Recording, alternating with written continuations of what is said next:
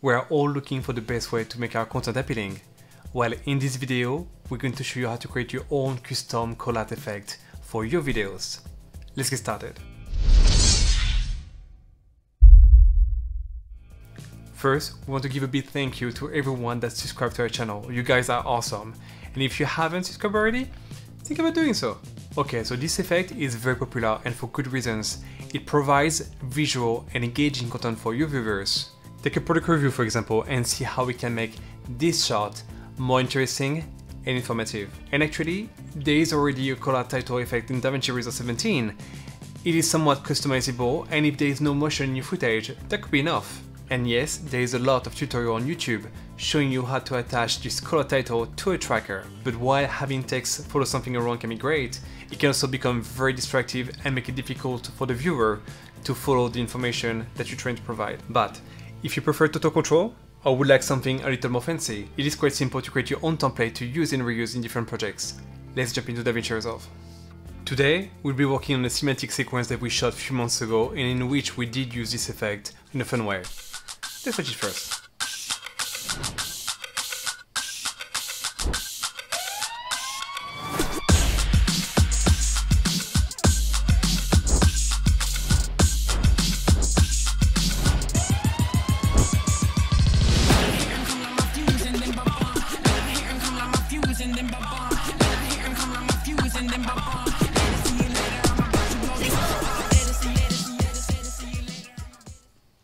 Okay, so I chose a clip where Blue is pulling out the backpack as it provides a lot of contrast that will make it easy to track. Let's create the effect by right-clicking on the clip and opening in Fusion Page. Here you can see that my layout is set vertically and this is to reduce the amount of travel between my nodes and the inspector. You can change your own layout by going to Workspace and Layout Presets. As usual, we have a media in, which is our clip, and a media out, which is the output that will be rendered. We'll start by adding the text and choose a suitable style. Select the media in node and click on the text icon to automatically connect our text node with the merge one. Select the text node, go to the inspector, type your text and format it to your liking.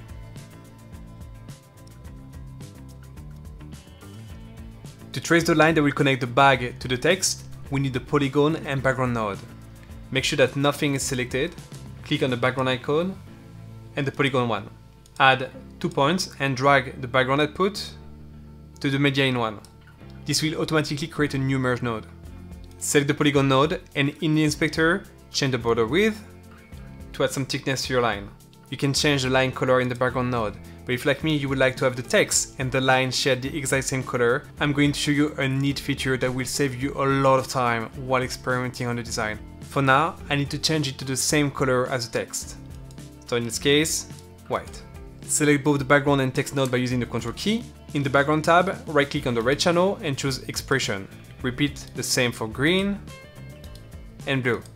This will allow us to set the value of each channel dynamically by connecting those expressions to other parameters in the text node. Drag the plus icon for the red channel, hover above the text tab, go to the shading tab, and here drop on red. Now repeat for green and blue. And now, whenever I change the color of my text, it will update the line accordingly. That's really handy. And because the footage is showing here before my grade, I'm gonna use the color picker to adjust the color to match the backpack. I'm going to jump in the color page to show you the result. And now as you can see, the grade is applying to my text as well. Talking about doing stuff dynamically, let's spice things up and connect the polygon to the text node. Select the polygon node, click on the select all points icon, right click on the polygon, go to polygon polyline, publish, publish points. This will make both points accessible in the inspector. And just as we did for the color, we're going to right click on each point and add an expression. Press Ctrl and select the text node, drag the plus icon, hover above text, go to layout, and release above center. Select the text node, and look at this. Isn't it sweet? Wherever you move the text, the line will follow. You can then adjust the look by doing some text formatting and decide how you want the callout to appear. I'm going to text, I'm going to use the anchoring to make sure that the line is in the corner. Select the polygon node, and here you can play with position and length to change the look of it. I'm gonna move my position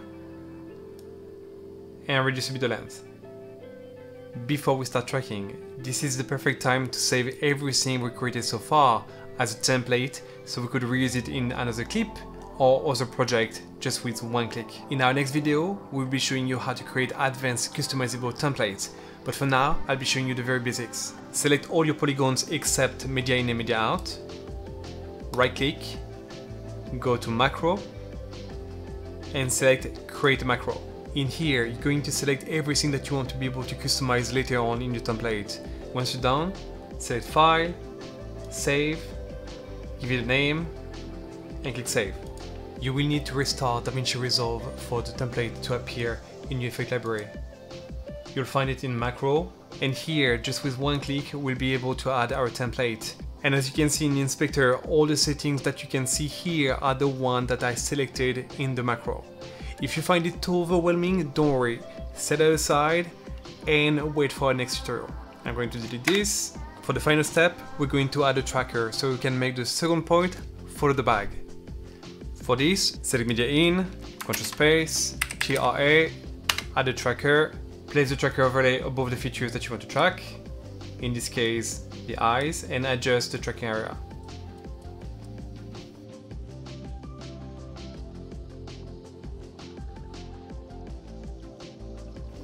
Okay, in the inspector, click on the button track forward from current time.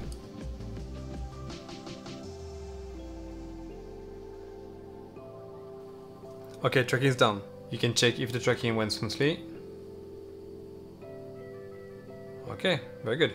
Now that we're done tracking, select both the polygon and the tracker nodes. Grab the second point with the plus icon. Hover above the tracker and here drop to track center. And just like this, the line is now connected to the tracker and it will follow your subject around. If I play the clip over, you can see that it works perfectly. You can now add any kind of animation to your callout effect to make it appear the way you want. And for example, select your text, go a few frames before we started tracking, go to write on, add a keyframe, bring to zero, move a few frames forward, add another keyframe, bring it to 1, save the polygon, go back to the frame where you started tracking, add a keyframe to level and length, bring both to 0, move forward, add another keyframe to level and length, bring level back to 1, and the length to wherever you want it to stop. Okay. When they select, and if I play around the clip, you can see that the effect is happening smoothly. I'm going to jump to the edit page to check how it looks once graded and with the speed ramp. And that's pretty awesome. But it's just the beginning because you can add any kind of graphics and extend your template with something a lot more complex and visual with a bit more work. If you enjoyed this video, leave a thumbs up and make sure to check our VFX and DaVinci Resolve playlist for more tutorial. And until next video, take care, peace!